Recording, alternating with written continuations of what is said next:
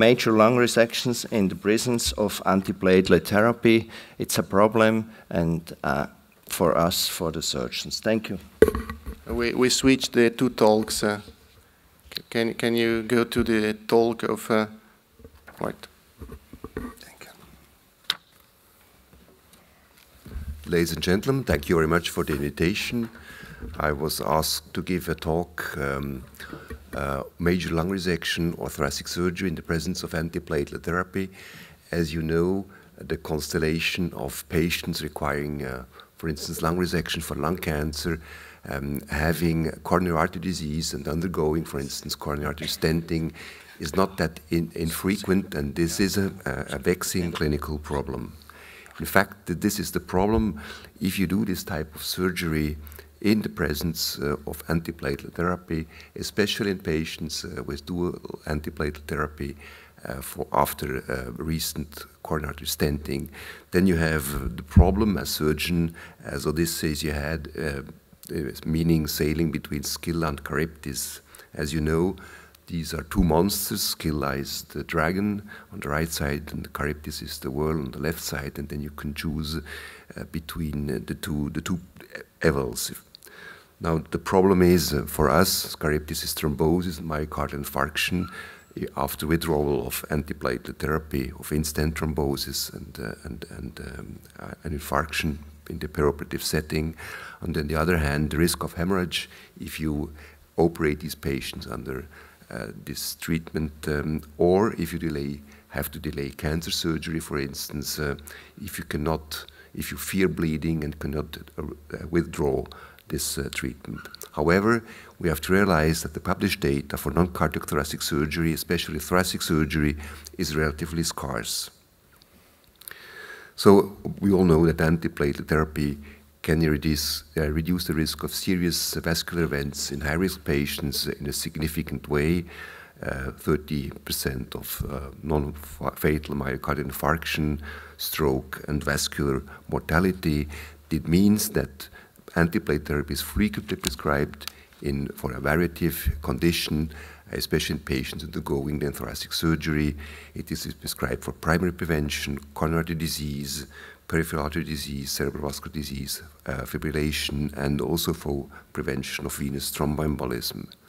The action of antiplatelet agents, as you all know, especially for aspirin and clopidogrel Plavix, which is mainly used uh, actually in this setting, as, at least as we see as thoracic surgeons, uh, are irreversible uh, inhibitors, and it's important to realize that the termination of drug activity of these irreversible inhibitors relies on platelet renewal, which is about 10% per day.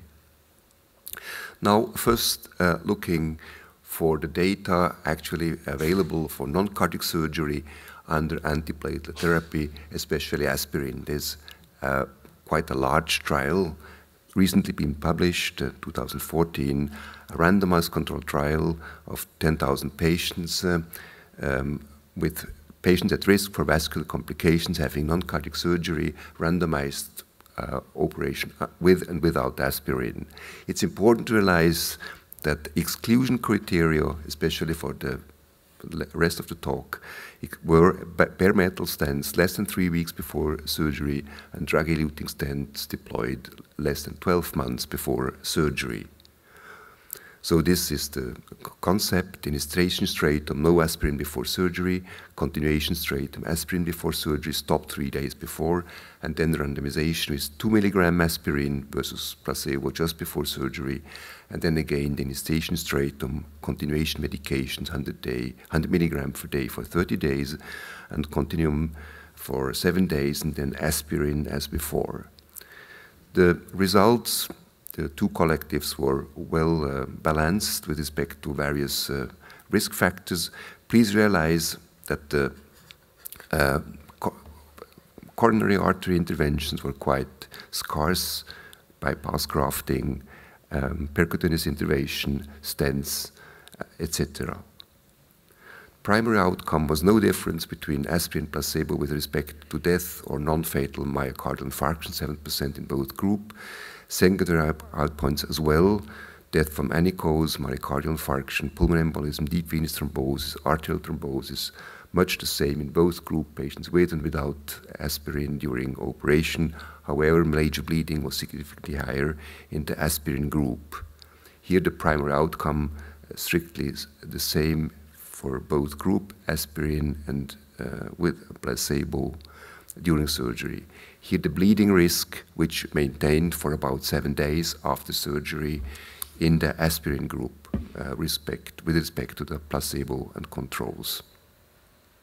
Subgroup analysis of this large study revealed that there was no difference between the different uh, um, operation categories, meaning thoracic surgery was about 400 aspirin groups and 400 in the placebo group, and the primary outcome was similar in indication and continuation stratum.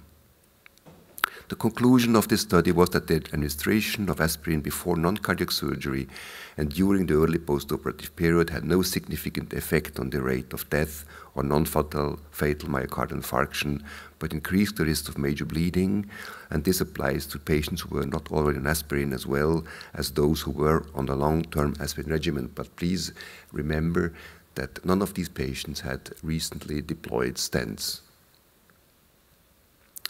Here, more specifically, a study, a recent study coming from Korea, looking um, for lung resection and uh, mediastinal lymph node dissection, lobectomy performed by VATS, uh, a retrospective study in 164 patients. Uh, they compared two uh, groups, those with preoperatively interrupted uh, antiplatelet therapy versus those who had continuous antiplatelet uh, agents, uh, especially, of course, in patients at risk for uh, coronary artery disease and stent thrombosis. Here you can see the comparison of the both group, well balanced for age, uh, sex, smoke, and um, aspirin. However, aspirin clopidogrel was more likely to be uh, in the continuing group, uh, and there were more frequently CAD, PCI, um, in the in the continuing group, and primary high prevention was more frequent in the interrupted group, which is quite logic somehow. Here the uh, results, there was no difference between continued and interruption APA uh, for VATS lobectomy, mediastinal lymph node dissection, for conversion thoracotomy, for instance, for bleeding or other problems, intraoperative transfusion, bleeding, 30-day mortality, 30-day morbidity, transfusion rate, and reoperation rate for bleeding. Strictly no difference.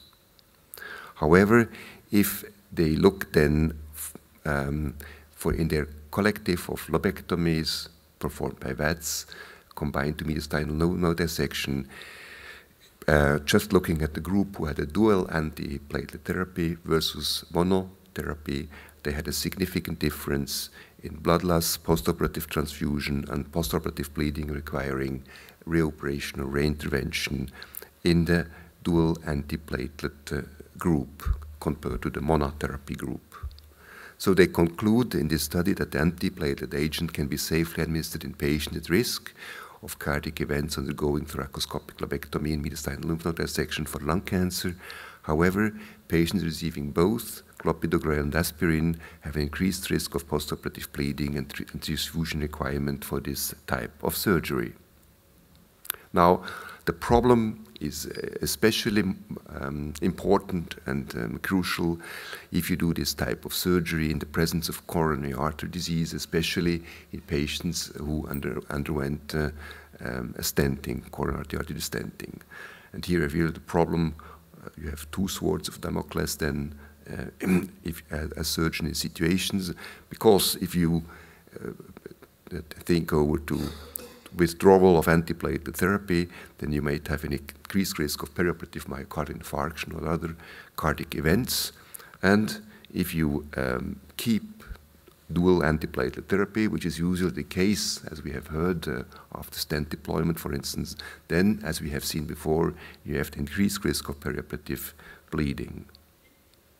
So the problem is if you do surgery in the presence of coronary artery disease, it has been well recognized that myocardial infarction is a common vascular complication, the most common vascular complication of the surgery in patients at risk for coronary artery disease, with a mortality which is quite high in the situations of 15 to 25 percent. The problem is that surgery leads to platelet activation, hypercoagulability, and the coronary artery vessel wall shear stress with an increased risk of coronary artery uh, thrombosis and myocardial infarction.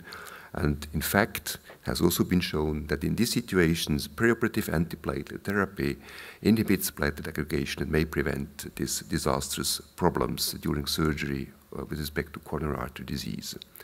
The problem is uh, especially uh, pronounced if you have then this type of surgery performed in the presence of coronary artery stenting, because surgery creates a prothrombotic milieu per se and then exposes per se thrombogenic material to this post-thrombotic milieu in the peri- post-operative phase, with the risk of in-stent thrombosis, especially, of course, of non-reendothelialized stents, uh, and, of course, in the absence of antiplatelet agents, with the risk of myocardial infarction at 35%, and a very high mortality in this special situation of perioperative in-stent thrombosis, estimated at 20 to 40%, very high.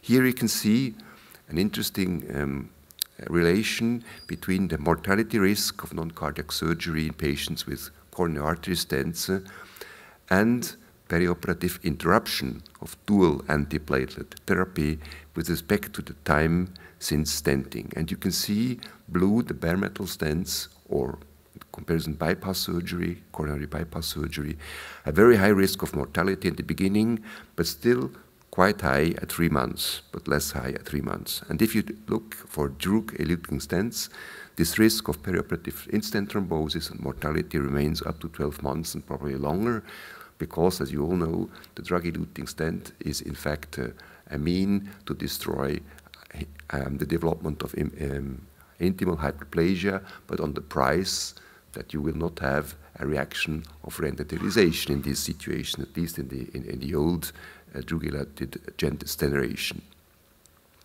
So the actual recommendation guidelines is that you, if you perform surgery in the presence of coronary stents, keep lifelong aspirin administration and keep uninterrupted dual antiplatelet therapy, typically uh, Plavix and aspirin, until stent reendothelialization. And we do not really know in drug-eluted stent when this will appear. So at least six weeks for bare metal stents, this uh, DUE antiplatelet therapy, and at least 12 months, at least 12 months for drug-eluted stents in case of surgery. Here, an interesting study performed uh, in the States looking for thoracic surgeon patients with under clopidogrel for coronary artery disease. Um, surgery performed between 2009 and 10, and they compared this with matched pairs patients with undergoing thoracic surgery without clopidogrel, looking for the major ca uh, cardiac events, mortality, morbidity, and the estimated blood loss. They were, because since they were matched pairs, quite comparable for the different risk factors. Um, all patients had, as we, per definition, coronary artery disease in this collective, and uh, stents, 64% in the clopidogrel group and um, 33 in the control group, aspirin 23 and 39 patients in these situations. Most of the stents were drug-eluting stents.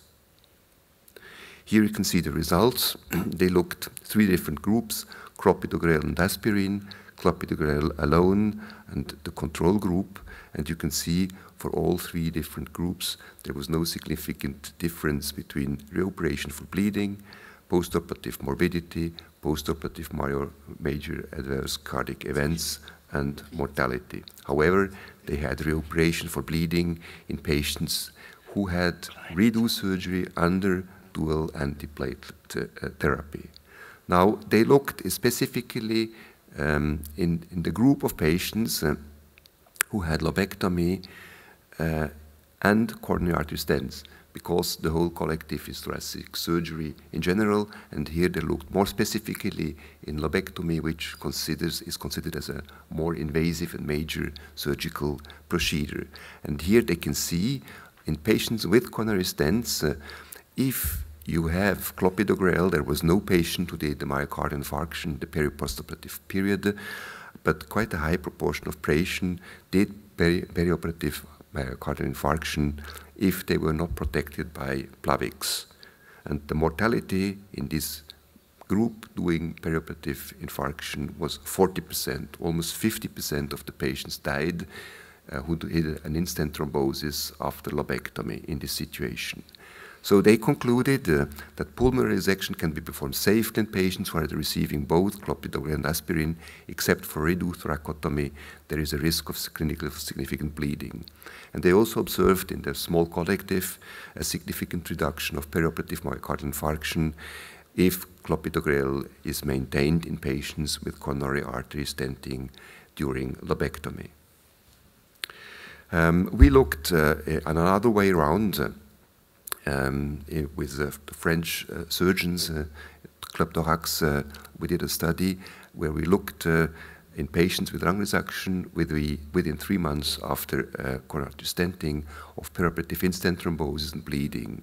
So we looked all patients undergoing lobectomy or pneumonectomy, for thoracotomy, for lung cancer, who required this type of surgery within three months of coronary stenting because they could not wait longer in order to uh, um, avoid uh, progression of their underlying tumor disease. And in this collective of 33 patients, we looked for morbidity, mortality, in-stent thrombosis, and hemorrhage. They were all patients had stents, most of them, all of them bare metal stents, all had clopidogrel and aspirin before, after stenting at, for at least six weeks, according a little bit longer, even as recommended by the guidelines. As you have heard, all patients had clopidogrel stopped before surgery because these patients underwent lobectomy and pneumonectomy in the standard way. It's quite an old study by thoracotomy. Um, 66 patients had perioperative heparin and aspirin uh, in addition to Plavix, which has been stopped, and postoperative heparin 34%. The 30-day mortality was 9%. Two patients died from RDS, non-related to the anticoagulation and stent procedure. And one patient, however, died for in-stent thrombosis. 30-day um, morbidity was 25%. Bleeding complications occurred in three patients, 9% with hemothorax in two and retroperitoneal hematoma in one. And in-stent thrombosis was observed in three patients, despite uh, recommendation of the guidelines, two non-fatal and one uh, fatal. Here, this uh, fatal outcome in one of these patients with a coronary stenosis, as you uh, can observe, the LAD, two, two stenosis in the LAD, and one in the diagonal branch. The LAD was, has been stented. This was not stented. Treated six weeks with dual antiplatelet therapy we did a lobectomy, and the patients developed perioperative um, myocardial infarction despite op the operation has been performed under heparin and aspirin in stent thrombosis, and then uh, failed uh, revascularization with a, fa a, fatal myocardial infarction.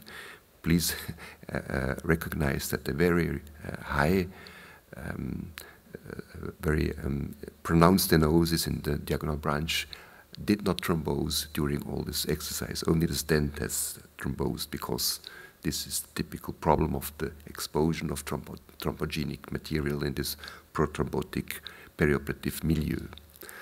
The study concluded that major lung resection performed after coronary artery stenting may be complicated by perioperative in-stent thrombosis, even if the recommendations and guidelines are followed.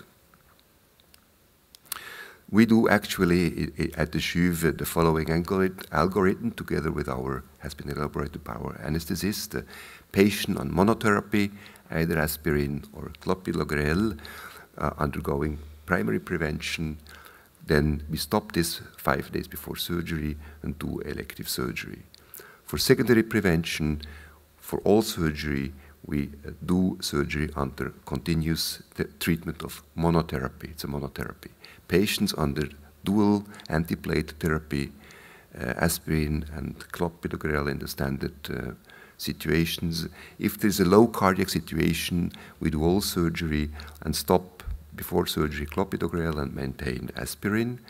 And if there's a high risk cardiac situations, for instance, less than six weeks of uh, percutaneous uh, coronary intervention, bare metal stents, less than three months myocardial infarction or uh, uh, ICS, less than 12 months drug-eluting stents, and more than 12 months high-risk stents, multiple stents, etc. Then, in these situations, if it is a real pure elective surgery, we delay surgery. If it's vital or urgent surgery or cancer surgery, as we have seen, then we do um, surgery under continuous treatment, um, dual antiplatelet therapy. And however, if we uh, consider that the bleeding risk is excessive and very dangerous, uh, for instance, um, if we have then uh, compression of, of, of, vital structures in case of hematoma, then we stop clopidogrel and substitute, we maintain aspirin, and we restart clopidogrel uh, 24 hours uh, after that. These are our results obtained with this algorithm, major lung resection at, and antiplatelet therapy at the CHUV. Um, about uh, 400 uh, patients, uh, 500 patients, uh, either with three groups with Clexane in normal patients without any problem, aspirin and Clexane, and then aspirin clopidogrel, mainly for patients with coronary artery stenting, which requires then operation in, in due time. 30-day mortality, morbidity, myocardial infarction, hemothorax requiring operation. Here the intervention performed, and here the results. As you can see, if these patients undergoing lobectomy um, and uh, mediastinal dissection, most of these patients um, there is no difference between uh, Clexane, low molecular weight heparin as thrombosis prophylaxis combined with aspirin with a very low 30-day mortality um, and myocard myocardial infarction rate or hemothorax. However, if we have to combine aspirin clopidogrel, mainly in patients who had recent uh, uh, coronary artery stenting, that's the main indication for maintaining this treatment, then we have a 30-day mortality of 6%, 30-day morbidity of 18%, myocardial infarction rate of 18%, and hemothorax of 6%, requiring reoperation. So in conclusion, mm -hmm. as we have seen at the beginning, the problem of antiplatelet therapy uh, versus in-stent thrombosis, uh, uh, we have to, to deal with this problem. Uh, Odysseus in the, um, in the book of Homer, he preferred Scylla because uh, he, he was um, ready to sacrifice some of his, uh, uh, as you can see, of his sailors to the monster. But because he thought that it's better to sacrifice some of these sailors to the monster, but to preserve the ship and the rest of the crew. And for us, it's a little bit the same thing. Scylla for us is the hemorrhage. Uh, is the in-stent thrombosis we as surgeons also think that it's probably wise to keep, especially patients with coronary artery, recent coronary artery stenting, this aggregation therapy as the patients need, prescribed from their cardiologist, and uh, um, uh, um, assume a little bit a higher risk of hemorrhage, which we can probably more easy control than in-stent thrombosis with a very high peri and postoperative mortality. Thank you for your attention.